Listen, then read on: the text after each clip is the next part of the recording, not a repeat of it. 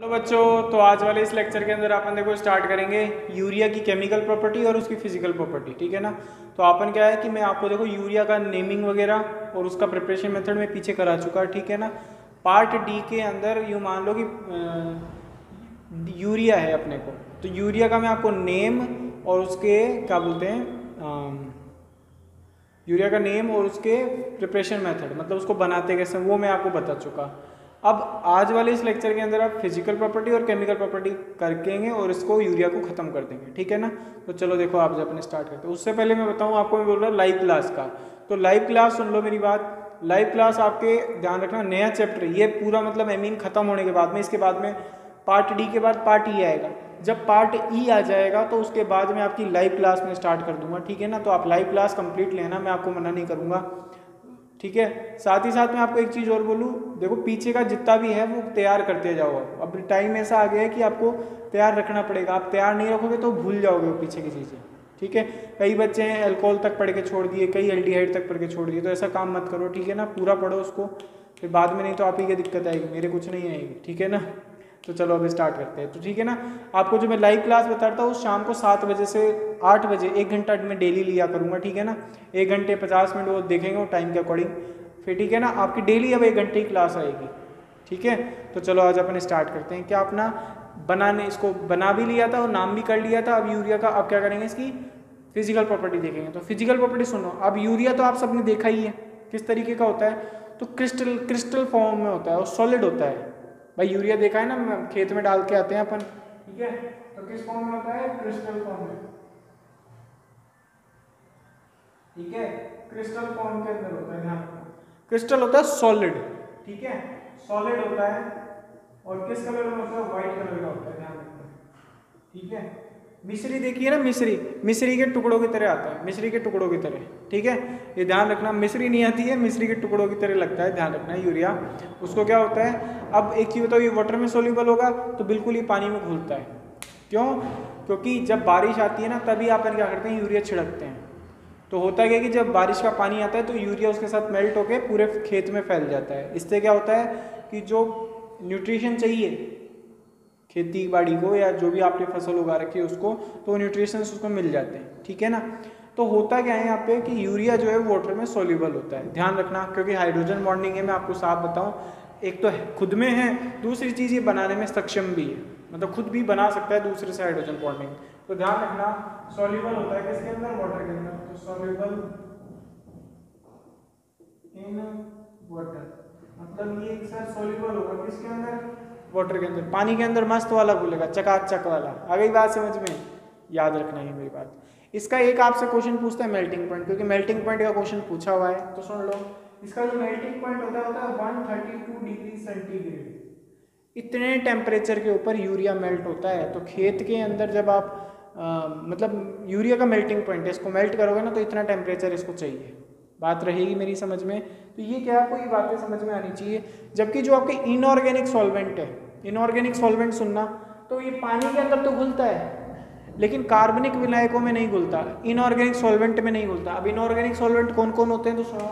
जैसे आपका हुआ benzene C six H six आपका हुआ ईथर इनके अंदर ध्यान रखना, आपका जो ये है, क्या नाम है? मतलब आपका ये जो है यूरिया। ईथर बेंजीन के अंदर नहीं घुलता है, ध्यान रखना। बात इनऑर्गेनिक सॉल्वेंट के अंदर नहीं घुलता मतलब अल्कोहल वगैरह में नहीं घुलता है ये। लेकिन जो आपके वाटर है, उसके अंदर घुल जाता है। सिंपल सी मैं बात बोल रहा हूँ। आई बात समझे अब अपन इसकी क्या करेंगे? इसकी केमिकल प्रॉपर्टी देखो केमिकल प्रॉपर्टी क्या काम की है। तो ये मैं हटाता हूँ अभी ना? केमिकल प्रॉपर्टी सुन केमिकल प्रॉपर्टी में सबसे पहले आपसे रेजोनेंस बनवाता है इसका। यूरिया एक डाई बेसिक एसिड है, ध्यान रखना। क्या है? यूरिया एक डाई बेसिक एसिड है, सुन लो। Urea is di di basic acid ठीक है?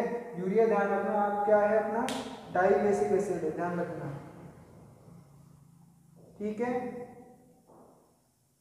रख लोगे मेरी बात याद कि? आपको यूरिया ध्यान रखना है। डाई बेसिक एसिड मतलब द्विशारकीय अम्ल है। हिंदी के अंदर ये लिखा हुआ है, हिंदी देख रहा हूँ द्विशारकीय अम्ल है। आगे बात समझ में? अब सुनना। डाई बेसिक एसिड ये तो अभी मैं बताता हूँ कैसे, लेकिन इससे पहले इसका रेजोनेंस देखो रेजोनेंस देख लोगे तो अपने आप सारी कहानी समझ में आ जाएगी। तो रेजोनेंस मैं बनाता हूँ, सुनो इसका। देखो, ये होता है पास C double bond N H two ये इसका लोन पेयर और ये इसका लोन पेयर बोलो, है। अब होगा क्या इसके अंदर सुनना? ये जो ऑक्सीजन वाला बॉन्ड है, ये इधर घूमेगा। ठीक है रेजोनेंस बता रहा हूँ, इसमें रेजोनेंस बनता है, कैसे आपसे बनवा सकता है एक नंबर में, ध्यान रखना। तो ये जो आपके एमीन वाला पार्ट है, इस एमीन वाले पार्ट के अंदर क्या होता है कि देखो, ये इधर गया, जैसे ये जाएगा तो ये देखो ऑक्सीजन पे तो कौन सा चार्ज जाएगा माइनस ठीक है? जैसे ये जाएगा तो उधर से वो घूम के ये इधर आ जाएगा। बोलो, बात आती है समझ में? तो होगा क्या? सुनना। यहाँ बन जाएगा double bond N H two सुनना और कौन सा चार्ज पॉजिटिव और ये सिंगल बॉन्ड एन एच बोलो, आती है बात समझ में? अगली स्ट्रक्चर के अंदर क्या होगा? नाइट्रोजन एज अ मतलब एक अच्छा वाला इलेक्ट्रोनेगेटिव है। तो वो कभी नहीं चाहेगा कि मेरे ऊपर कौन सा चार्ज रहे? पॉजिटिव तो वो फिर से जो इलेक्ट्रॉन दिए हैं ना, वो वापस से ले लेगा। और जब लेगा तो सुनना क्या होगा? ये उठ के इधर भाग जाएगा। आ गई मेरी बात समझ में तो अब क्या बन जाएगा? ये बन जाएगा। सी ऑक्सीजन का माइनस और ये फिर आपका nitrogen double bond positive charge ये आपका हो गया एन एच थ्री अच्छा सॉरी एन एच टू ठीक है? क्योंकि इसका बॉन्ड इसी के पास चलेगा तो ये माइनस तो हो जाएगा लेकिन ये वाला बॉन्ड इधर घूम जाएगा। आ गई ना बात समझ में? तो होता क्या है मैं आपको बताऊँ इस तरीके से आ, मतलब यूरिया जो है वो अपने तीन रेजोनेंस स्ट्रक्चर के अंदर एग्जिस्ट करता है नेचर में, ठीक है? अब हुआ क्या मैं आपको बताऊँ? तो ये जो NH2 है, ये यहाँ से एक H प्लस निकाल सकता है और एक ये यहाँ से H प्लस निकाल सकता है। तो मैंने बोला डाई बेसिक एसिड तो बेस की होती है एसिडिटी आ रही बात समझ में? तो मैं बोलना क्या चाहता हूँ आपको कि ये जो NH2 है, ये एक बेसिक ग्रुप की तरह बिहेव करता है। तो यहाँ से एक एच निकलता है और एक एच यहाँ का निकलेगा।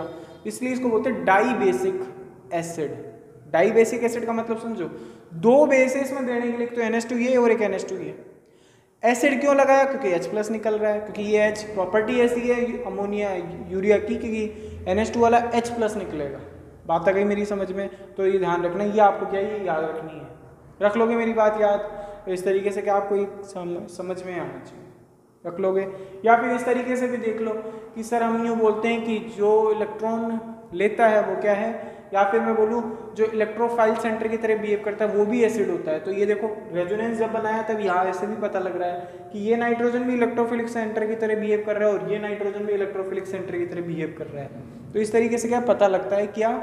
कि अमोनिया किस तरीके से डाइवेसिक एसिड है या फिर किस तरीके से रेजोनेंस शो करता है? तो एक नंबर में रेजोनेंस आपसे आ सकता है, ध्यान रखना। रख लो लोगे याद? अब उसके बाद में देखो अगला। अगला इसके अंदर क्या है आपके? इसका है हाइड्रोलिसिस ठीक है? अच्छा एक चीज़ और आपसे मैं बताऊँ बायोमोलिक्यूल जब मैं आपको पढ़ाऊँगा जे में तो उसके अंदर बताऊँगा कि यूरिया को डिसोसिएट करने के लिए होता है यूरियज एंजाइम ध्यान रखना, एक नंबर में ये भी पूछ सकता है कि यूरिया को डिसोसिएट करने के लिए एंजाइम जो होता है, उसको बोलते हैं यूरिएज ध्यान रखना यूरिएज ठीक है? ये ध्यान रखना प्रोटीन को तोड़ने के लिए प्रोटीएज डीएनए को तोड़ने के लिए डीएनएज आरएनए को तोड़ने के लिए आरएनएज वैसे ही यूरिया को तोड़ने के लिए यूरिएज एंजाइम काम करते हैं। अगर बात समझ में, हम हमारे ध्यान रखना, हम जो यूरिन निकालते हैं मतलब मूत्र जो निकालते हैं, उसके अंदर यूरिया निकालते हैं, ये और ध्यान रखना। आगे बात समझ में, वैसे मैं आपको ये बायोमोलिक्यूल वाले चैप्टर में आगे बताऊँगा, लेकिन फिर भी यहाँ ध्यान रखो कि अपन जो एक्सक्रेटरी प्रोडक्ट निकालते हैं, वो यूरिया निकालते हैं। अगली बात समझ में, रख लोगे बात याद? अब उसके बाद सुनो, इसकी नाइट्रस एसिड से रिएक्शन है, ठीक है? हीट के ऊपर तो देखो। तो ये मैं हटा रहा हूँ ठीक है ना? इसकी पहली रिएक्शन देखो। पहली रिएक्शन क्या है? सुनना। ये डाई ये जो है एच एन के साथ रिएक्शन देता है। तो एच एन होता है आपका ये ठीक है? एच एन के साथ रिएक्शन है। इस रिएक्शन में आप हेडिंग लिख लेना या मैं लिख देता हूँ। एच एन के साथ रिएक्शन अगली बात समझ में। तो एच एन के साथ जब आप इसकी रिएक्शन करोगे तो ये होता है आपका यूरिया ठीक है? NH2CO NH2 ये आपका यूरिया है।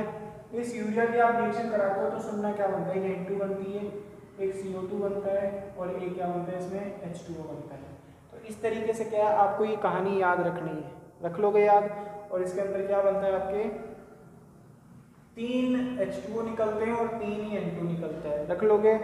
तो ये चीज़ क्या आपको याद रखनी है। देखो, सीधा सीधा है आपको सीधा सा बात बता रहा हूँ। जब भी आपको टेम्परेचर दिखेगा, ठीक है? जब भी आपको टेम्परेचर दिखेगा तो मैं आपको सीधी सी बात बोल देता हूँ। यूरिया के केस में आपको वहाँ पे सबसे पहले गैस निकालनी है। गैस कौन सी निकलेगी? तो N2 निकलेगी। कहीं भी पढ़ लेना आप इसको। एक नाइट्रोजन इसका और नाइट्रोजन इसका। ये N2 पहले निकलेगी। यूरिया को जब भी हीट करोगे N2 निकलेगा H2O निकलेगा, बाकी बचे हुए को जोड़ के लिख देना और कुछ नहीं करना। ठीक है? तो N2 निकलेगा। अरे क्योंकि एच टू इसलिए बोल रहा हूँ क्योंकि पानी हीट पे तो अच्छे अच्छे का पानी निकल जाता है, ठीक है ना? तो ये क्या है? हीट पे एच टू पहले निकालेगा। एन टू निकालेगा, बचा जो अब मैंने, बचा क्या? सिर्फ़ सी ओ टू बचता तो सी ओ टू मैंने लिख दिया। रख लोगे ये बात याद? अब यूरिया की रिएक्शन है किससे? सोडियम हाइपोब्रोमाइड के साथ। सोडियम हाइपोब्रोमाइड के साथ। देखो तो ये यूरिया है मेरे पास। ठीक है? मैंने इसकी रिएक्शन कराई किसके साथ? N A O B R के साथ। ये तीन, ये अपन पहले भी ले चुके हैं। हॉफमैन ब्रोमाइड रिएक्शन पढ़ाया था, उसके अंदर ये लिया था अपन ने। ठीक है? अब इसकी जब रिएक्शन कराते हो तो क्या होता है? तीन एन ए बी आर तो अलग निकलते हैं, देखो। आइए बात समझ में। तीन एन ए बी आर आपके अलग निकलेंगे, ठीक है ना? तीन एन ए बी आर निकलने के साथ में आपका निकलेगा यहाँ से सी ओ टू प्लस आपका निकलेगा एच टू ओ प्लस आपका निकलेगा 3H2 तो देखो, इस तरीके से आपका एक सोडियम ब्रोमाइड एक CO2 एक N2 और एक क्या निकलता है 3H2 तो देखो, एक ही रिएक्शन है। ये भी ध्यान रखना किस पे हो रही है? हीट के ऊपर हो रही है, ध्यान रखना। आई बात समझ में? तो मैं बताऊँ आपको मैक्सिमम जो यूरिया की रिएक्शन है, उसमें टेम्परेचर देना ही पड़ेगा आपको। रहोगे, रखोगे मेरी बात याद तो देख लो, वही एन टू वही एस टू और वही सी ओ टू बाकी बचा जो जोड़ के लिख दिया। इनको क्या करना आप? खोल के लिखना। जैसे तीन एन ओ बी आर ऐसे लिख लिया। और फिर इसको खोल लेना एन एस टू को इस तरीके से खोल लेना एच ओ एच तो अपने आप सारी बात समझ में आ जाएगी आपको। ये बैलेंस होके आएगी पूरी रिएक्शन ठीक है? जैसे मैंने की है वैसे ही आपको मैं बता रहा हूँ। रख लोगे यार। उसके बाद में इसका हीट पे इफ़ेक्ट होगी दो और या फिर देखो पहले, इसकी डाई कार्बोक्सिलिक एसिड से रिएक्शन है। ये इंपॉर्टेंट है और एग्ज़ाम में आई थी इस बार। 2017 का जो पेपर हुआ 17 मार्च को तो जो पेपर हुआ है लॉकडाउन से पहले, वो पेपर के अंदर आया था। तो वो सुनो, क्या है? देखो, किसके साथ रिएक्शन है? तो reaction with with di carboxylic acid किसके साथ है? रिएक्शन विद डाई कार्बोक्सिलिक के साथ. तो डाई कार्बोक्सिलिक एसिड होता है आपका सी डबल बॉन्ड ओ मतलब C W H C W H group होता है. तो देखो, ये होता है आपके पास में सी सुनना O H double bond O, ठीक है? और ये होता है C double bond O O H मतलब ये आपके पास में क्या है? ऑक्जेलिक एसिड है। क्या है ये? ऑक्जेलिक एसिड है। ऑक्जेलिक एसिड है। ठीक है? इस ऑक्जेलिक एसिड की आपको रिएक्शन करानी है किसके साथ? यूरिया के साथ। ठीक है? यूरिया आपका होता है एन एच टू ठीक है ना? यूरिया आपका इस तरीके से होगा N H two N H two और ये हो गया आपका सी डबल बॉन्ड ओ ये ध्यान रखना है आपको। रखोगे मेरी बात याद? तो ये ध्यान रखना। या फिर मैं इसको इधर लिख दूँ खोल के देखो ये इस तरीके से मैं लिख रहा हूँ। दिख नहीं रहा होगा तो N H two N H two और ये urea. C double bond O बोलो आती है बात समझ में? अब क्या होगा? इसका एच और इसका ओ OH निकल जाएगा। इसका एच और इसका ओ OH निकल जाएगा और दो, मैं बोला था अभी डाई बेसिक एसिड है तो H निकालता है। तो एच ये निकालेगा OH ये निकालेगा। H ये निकालेगा ओ OH ये निकालेगा। तो होगा क्या? यहाँ से चार्ज बना बना के निकालो। तो ये OH माइनस में निकलेगा तो ये प्लस और ये प्लस में निकलेगा तो ये माइनस तो माइनस प्लस आपस में जुड़ जाएगा तो प्रोडक्ट सुनो क्या बनेगा। प्रोडक्ट बन जाएगा आपका ये। C double bond O C double bond O है ना? ये आपके हो गया एन एच ये आपके एन एच ये आपका बॉन्ड और ये हो गया आपका सी डबल बॉन्ड ओ ठीक है? इसको बोलते हैं ऑक्सिलिल एसिड क्या बोलते हैं? ऑक्सिलिल ऑक्सिलिल एसिड रख लोगे याद बात मेरी? इसको बोलते हैं ऑक्सिलिल एसिड या फिर इसी को बोलते हैं ऑक्सिलिल यूरिया देखो, जो आपकी बुक में दे रखा है, वो दे रखा है ऑक्जेलिल यूरिया तो ये याद रखना ऑक्जेलिल यूरिया दे रखा है, अब नाम में क्या करूँ, है ना? एक नाम और दे रखा है आप ही की बुक में, इसको इसको बोल रखा है पैरा बैनिक एसिड। तो इस बार जो एग्ज़ाम में आया था, वो इस नाम से आया था ऑक्जेलिल एसिड है ना? तो ध्यान रखना ऑक्जेलिल एसिड इस बार बुक पेपर के अंदर आया था, एक नंबर के अंदर रिएक्शन पूछी थी कन्वर्जन बेस्ड पे। मैं बोलता हूँ ना, मैं कन्वर्जन कराऊँगा, वो कन्वर्जन बेस्ड पे क्वेश्चन पूछा था। तो कन्वर्जन बेस्ड में क्या था कि एक रिएक्शन तो ऐसी थी जिसमें यूरिया बन रहा था और दूसरी रिएक्शन में क्या कर रहा था कार्बोक्सिलिक एसिड को जोड़ के यूरिया तो प्रोडक्ट बनता, उस एक रिएक्शन का, और उसमें कार्बोक्सिलिक एसिड जोड़ के और ये बन, पूछा था, ये क्या बनेगा? आई बात समझ में? तो मतलब इस तरीके से क्वेश्चन डिवाइडिंग में आया था मतलब आई बात समझ में? छोटा क्वेश्चन था एक एक नंबर में इसमें पूछा था। रख लोगे याद मेरी बात? तो ये आपका हो गया। दूसरा देखो इसी के अंदर रिएक्शन है। ये आपका वही यूरिया देखो, ये आपके पास में क्या हो गया? वही यूरिया हो गया। ठीक, इसकी रिएक्शन करा हुआ आपको मैंने ओम्स गैप ऐसा कुछ करा रखा है, ठीक है ना? आपको मैंने वहाँ मेलोनिक एसिड बताया था, ठीक है? मैं मेलोनिक एसिड ये होता है, देखो C S two C double bond O O H और ये हो गया आपका C double bond O O H तो होगा क्या? इसका एच और इसका ओ एच एच टू निकल गया। इसका एच और इसका ओ एच एच टू निकल गया। दोनों निकल गए तो देखो क्या बन जाएगा आपका। ये बन जाएगा यहाँ पे। मैं यहाँ लिख रहा हूँ। आपको दिख नहीं रहा होगा, है ना? तो मैं काम करता हूँ, इसको हटा देता हूँ। ठीक है? ये नाम तो आप देख लेना हो जाएगा। इसका देखो क्या बनेगा। तो ये आपके बनेगा इस तरीके से। सी डबल बॉन्ड ओ देखो C double bond O C H two C H two है ना? सी डबल बॉन्ड ओ और ये ये वही आपका, इसका एच और इसका ओ एच इसका एच और इसका ओ एच पकड़ पकड़ के निकाल डालो चार्ज बना लो, इसका एच प्लस बनाओगे तो पीछे माइनस और इसका O H minus O H minus बनाओगे तो इस पर प्लस प्लस माइनस को जोड़ दो और एच टू निकाल डालो। तो देखो मैंने क्या है, दो एच टू तो निकाल डाले, इसमें भी कितने एच टू निकलेंगे? दो, ठीक है? और यहाँ बन जाएगा एन एच यहाँ भी बन गया एन एच ठीक है? और ये आगे हो गया सी डबल बॉन्ड ओ और ये सी डबल बॉन्ड ओ रख लोगे मेरी बात? तो इसको बोलते हैं मेलोनिल एसिड। क्या बोलते हैं? मेनो, मेलोनिल यूरिया या मेलोनिल एसिड? इसको देखो। Malonyl malonyl urea. ठीक है? और यही ध्यान रखना बारब्यूरेट से। बारब्यूरेट्स क्या होते हैं? बारब्यूरेट्स में आपको बताऊँ, ये नींद की दवाई लेने में काम आते हैं। आई बात समझ बारब्यूरेट्स होते हैं ल्यूमिनल सकोनल इस तरीके की दवाइयाँ आती है जो कि नींद लेने में काम आते हैं हिप्नोटिक्स में काम आते हैं। आपको एक हिप्नोटिक और पढ़ा रखा है मैंने क्लोरीटोन पढ़ाया था पीछे। जब आप क्लोरोफॉर्म की रिएक्शन कराते थे किसके साथ? एसीटोन के साथ में। तो वहाँ पे भी मैंने आपको ये बताया था। दूसरी चीज़ मैं यहाँ बता रहा हूँ, ये मैनोलिल यूरिया है। तो मैनोलिल यूरिया ध्यान रखना इसी तरीके से बनता है। रख लोगे बात यार? ये ध्यान रखना किसमें काम आता है? नींद की दवाई बनाने में काम आता है मैनोलिल यूरिया रख लोगे मेरी बात याद तो चलो। अगले की तरफ़ चलते हैं। तो ये मैं हटा रहा हूँ ना आपके लिए। तो ये ध्यान रखना, आपको याद रखना ही है, एक नंबर में पूछ सकता है आपसे। अब देखो, एक अपन पढ़ेंगे अब यूरिया का टेस्ट। लैब के अंदर कैसे यूरिया पता करेगी गिवन ऑर्गेनिक कोई आपको कोई कंपाउंड दे दे और आपसे पूछ ले कि ये बताओ ये यूरिया है क्या तो कैसे पता लगाओगे? तो कोई ना कोई तो टेस्ट होगा। तो ये यूरिया का टेस्ट है। इस टेस्ट को बोलते हैं बाई टेस्ट क्या बोलते हैं? बाई टेस्ट तो बाई टेस्ट के अंदर देखो क्या करते हैं अपन। पहले तो मैं आपको बताऊँ हीटिंग इफ़ेक्ट हीटिंग इफ़ेक्ट मतलब आपको क्या है? एक हीट का इफ़ेक्ट बताना है मेरे को। उस हीट के इफ़ेक्ट में ही आपके टेस्ट आ जाएगा, ठीक है? तो हीट का इफ़ेक्ट देखो। क्या करते हो आप? यूरिया लेते हो इस तरीके से NH2 C double bond O NH2 ठीक है? ऐसा ही एक मॉलिक्यूल और ले लो तो वो भी क्या होगा? NH2 C double bond O NH2 और कितना गर्म करते हो इसको डेढ़ सौ डिग्री सेंटीग्रेड। अच्छा ये टेम्परेचर फिक्स है ध्यान रखना। इसको जब आप डेढ़ सौ डिग्री सेंटीग्रेड तक गर्म करते हो दो अमोनिया के मॉलिक्यूल को लेके है ना? या यूरिया यू, यूरिया लेके गर्म करते हो दो मॉलिक्यूल तो होता क्या है सुनो।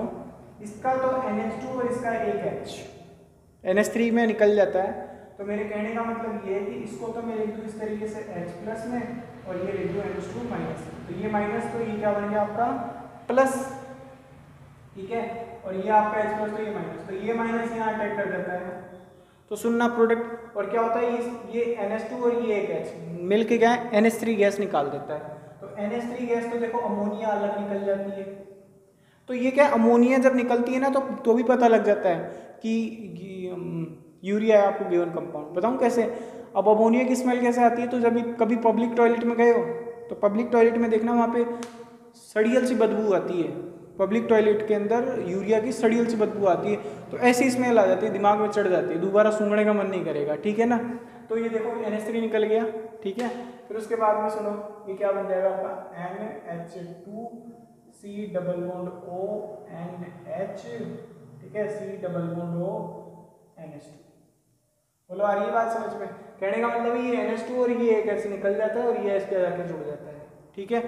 अब मेरी बात सुनना इसको क्या करते हैं ये जो भी बना है इसको अपन लेते हैं कॉपर सल्फेट के बेसिक सॉल्यूशन में डालते हैं। ठीक है?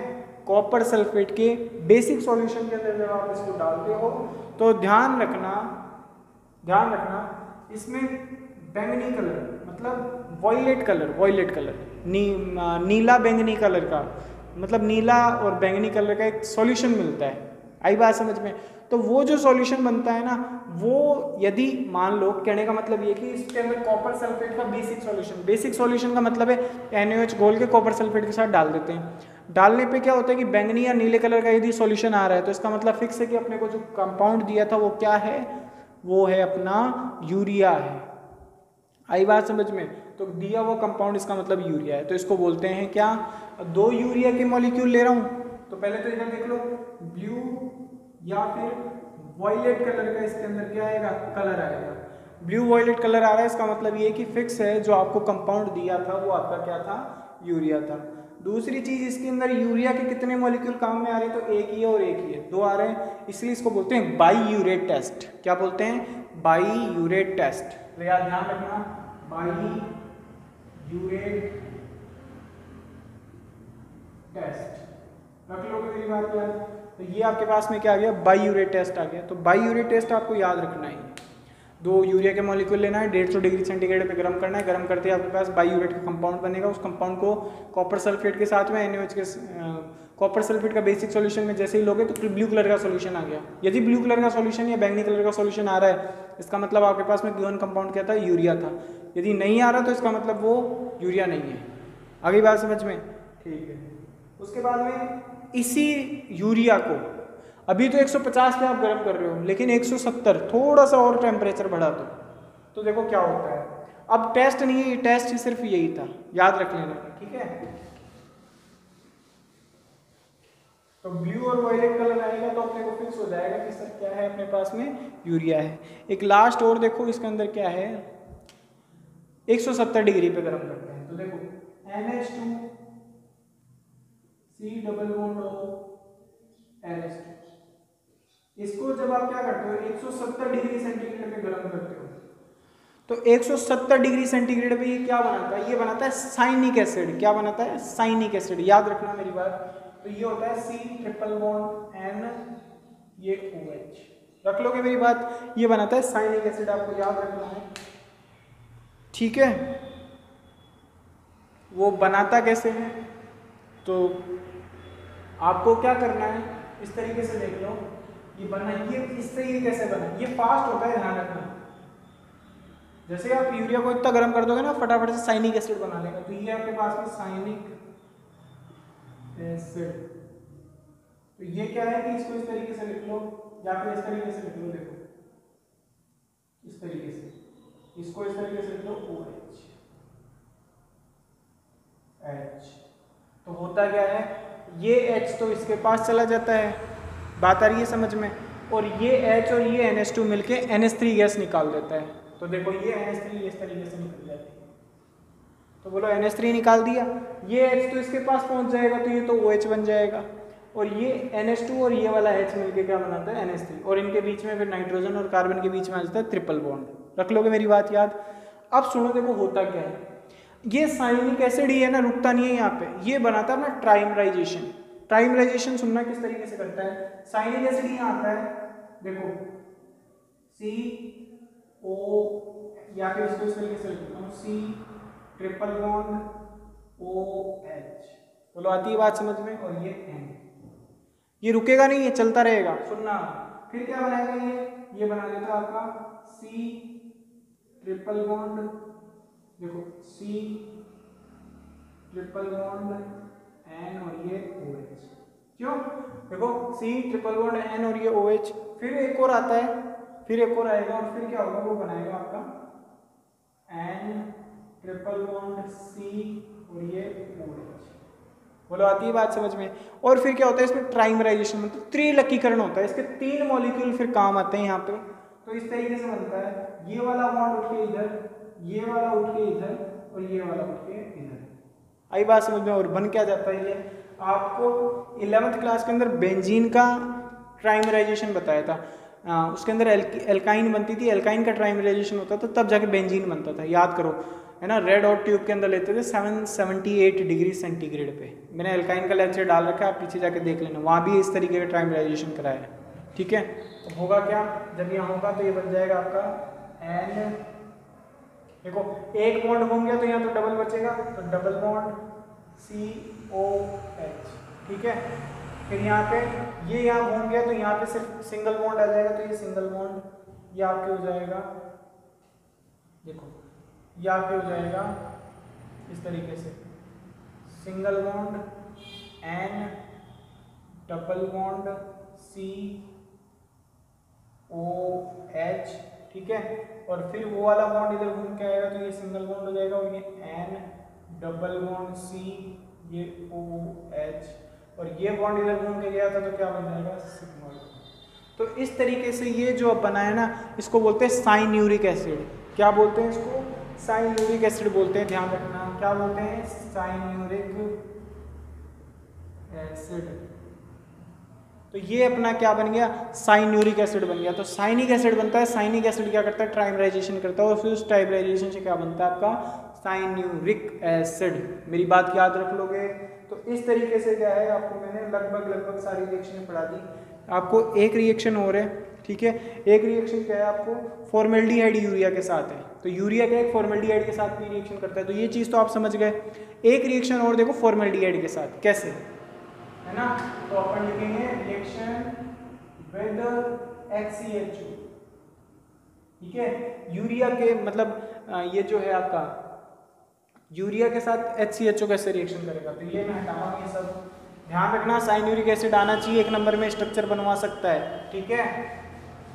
चलो आगे। अब किसके साथ कराएँगे? यूरिया की एच सी एच ओ के साथ। देखो यूरिया ये होता है N H two C double bond O H ठीक है? इसके क्या कर रहे हैं आपको? दो मॉलिक्यूल लेने हैं फॉर्मेल्डिहाइड के। तो H C double bond O H बोलो, आती है बात समझ में? और एक और ले लो, यहाँ ले लो। H C double bond O H इस तरीके से दो मॉलिक्यूल लेने हैं। करना क्या है आपको? इसको इधर घुमाना है तो इस पे आ जाएगा माइनस और इस पे क्या आ जाएगा? प्लस बोलो। हाँ? आ जाएगा? ऐसे ही क्या करो इसको भी इधर घुमा दो। तो इस पे आ जाएगा ये माइनस और इस पे क्या आ जाएगा आपके? प्लस बोलो आ जाएगा। और NH2 को इस तरीके से लिख लो देखो। H प्लस और ये माइनस बोलो। तो देखो इस बॉन्ड को ये प्लस आएगा तो ये बॉन्ड टूट गया माइनस और ऐसी ही तरीके से इस NH2 को भी ऐसा लिख लो H प्लस और ये माइनस अब होगा क्या? इनको अपनी अपनी तरफ़ लेके जा चल जाओ तो ये एच तो इसके आ जाएगा और ये माइनस इस कार्बन के जुड़ जाएगा ठीक है? और यहाँ क्या होगा कि ये एच इस ऑक्सीजन के चल जाएगा और ये माइनस इस कार्बन के चल जाएगा। तो बस बहुत सिंपल सा प्रोडक्ट बनेगा। प्रोडक्ट सुनना ये बनेगा। ये बनेगा आपके सी देखो, पहले ये बना लो। सिर्फ़ बीच का बना लो पहले तो ये बन जाएगा आपके N C double bond O N H ठीक है? ये हो जाएगा आपके एन एच तो ये तो इसके चला गया। C H two O H देखो कैसे? एन एच ये था ठीक है? ये एच इसके चला गया तो ये तो ओ OH बन जाएगा और ये हो गया आपका सी एच टू तो देखो C H two O H जबकि इधर भी क्या हो जाएगा? ये हो जाएगा N H C H two O H बोलो, आ गई बात मेरी समझ में? तो इस तरीके से क्या है? ये बनता है आपका डाई मिथाइलॉल यूरिया इसको बोलते हैं डाई मिथाइल लॉल यूरिया अभी बात समझ में तो ये ध्यान रखना, आपका क्या बन गया? डाईमिथाइलॉल यूरिया बन गया। रख लोगे मेरी बात याद एक आपको हाइड्रोजीन और मैंने बना बना, पीछे हाइड्रोजीन बनाया था। वो हाइड्रोजीन आप खुद देख लेना हाइड्रोजीन आपको आना चाहिए बनाना, ठीक है ना? हाइड्रोजीन में कुछ नहीं करना हाइड्रोजीन बनता कैसे? दो यूरिया के मॉलिक्यूल लो एन निकालो हाइड्रोजीन बन गया, बस, काम खत्म। बात आ गई मेरी समझ में? तो ये क्या आपसे हो जाएगा? अब अपन इतना ही करेंगे, ठीक है? सेमी कार्बेजाइड भी बन हाइड्रोजीन ही सेमी कार्बेजाइड सेमी कार्बेजाइड में क्या करना है? आपको दो यूरिया के मॉलिक्यूल लेने हैं। उन दोनों यूरिया के मॉलिक्यूल में से एक एन मॉलिक्यूल बाहर निकालना है और क्या बन जाएगा आपका? सेमी कार्बेजाइड बन जाएगा। तो सेमी कार्बेजाइड आपको मैंने पढ़ा रखा है, पानी निकालने वाले कॉन्सेप्ट के अंदर, एल्डिहाइड के अंदर पढ़ाया था। तो पढ़ाई करते रहो इस वाले लेक्चर में इतना ही करेंगे। दूसरी चीज़ आपको मैंने ख़त्म कर दिया पूरा चैप्टर चैप्टर आपका पूरा चैप्टर खत्म नहीं हुआ मतलब पार्ट जो डी है वो खत्म हुआ है। अभी पार्ट ई आना बाकी है, नाइट्रो वाला, ठीक है?